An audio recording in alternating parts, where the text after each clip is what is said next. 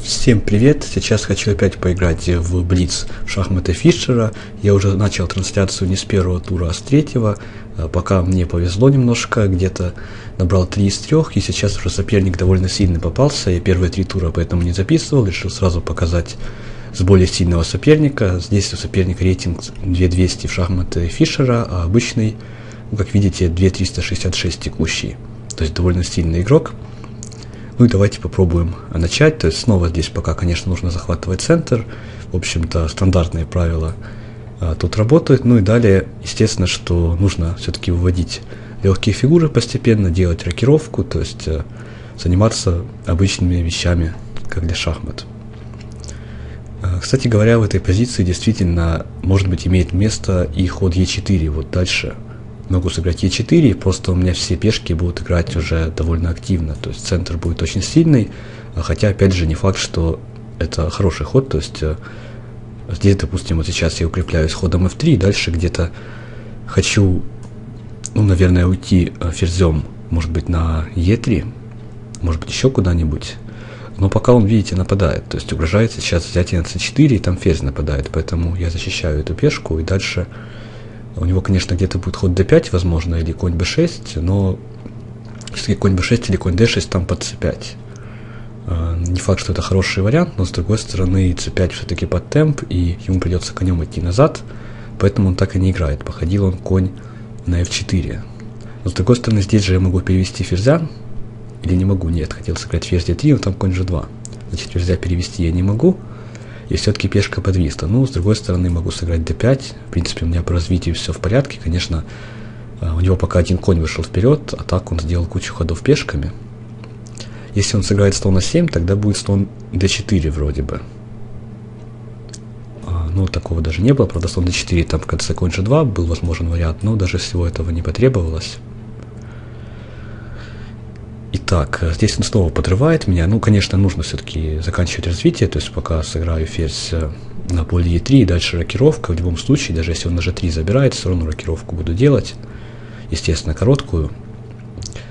А если так, то, видимо, придется мне потерять темп, сыграть слон d4, потому что на c5 он там заберет cd, и это не очень приятно. То есть, наверное, все-таки сыграю слон d4, поменяемся на d4, и дальше все-таки уйду в рокировку. Опять же, здесь, конечно же, не имеет смысла уходить в длинную. А, имеет смысл подумать, какой пешкой бить. То есть пешкой Е, с одной стороны, хорошо, что потом может сыграть c5, но с другой стороны, а, что дальше? То есть c5 там и пешка d5 будет под боем, и в принципе все-таки cd более логичный вариант. И, наверное, как-то так сыграю, закончу развитие. Дальше еще король h1, ну полезный ход, я думаю, чтобы там нигде не было шахов по диагонали. Правда, опять же, пока возникают такие определенные проблемы с выбором плана. А с другой стороны, у него, наверное, похожие проблемы. Но здесь еще один сделаю ход, не знаю, сколько он полезный, но, возможно, пригодится тоже. Это h3. И дальше, а, возможно, где-то король h2 еще придется играть. Я, правда, кучу темпов на этом всем трачу, ну ладно. В конце концов, в такой позиции не сильно острые, темпы не особо важны важно фигуру не зевать. То есть э, здесь еще что мне нравится, что у меня пешки все на белых полях, у него белопольный слон остался. И, возможно, это будет все-таки ко мне, мне довольно выгодно. Но вот, правда, опять же, что делать дальше? Можно сыграть ладья c7, вкинуть туда ладью, но, с другой стороны, есть ли у него какое-то возражение на этот ход. То есть, в принципе, ладья d8 он может сыграть, но тогда ладья моя явно будет более активной, и где-то, а, возможно, какие-то у меня идеи или связанные с ходом а, конь f5, ну ладно, это уже не актуально, не буду тогда считать эти все варианты. Он напал, хочет поменяться.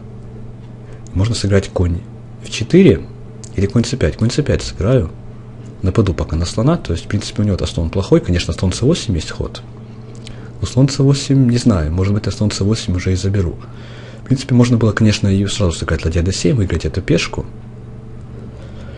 Ага, но тут я уже зеваю, я уже зеваю, конечно, попадаю под вилку, и что в итоге получается? В итоге я без качества останусь, скорее всего, как минимум причем, да?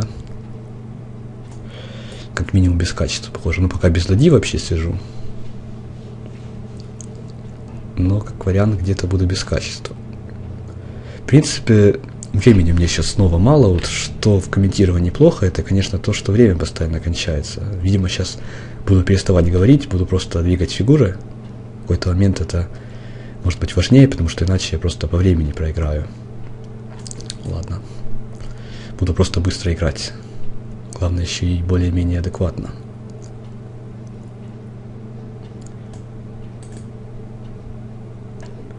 Пока хочу на e6 перевести коня, и пешка на e7 там провисла тоже, но это сейчас не так важно.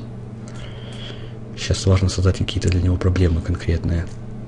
Допрыгал я конями, опять же, возможно, не лучший вариант, играю уже очень быстро, и, естественно, не факт, что это сильно.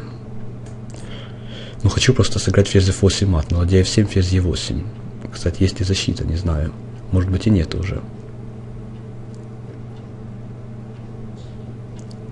Ну, ферзь d6, я имею в виду ферзь d6, кроме этого хода, но ферзь d6 тут все-таки защита условная. Я сейчас просто пешку повел вперед.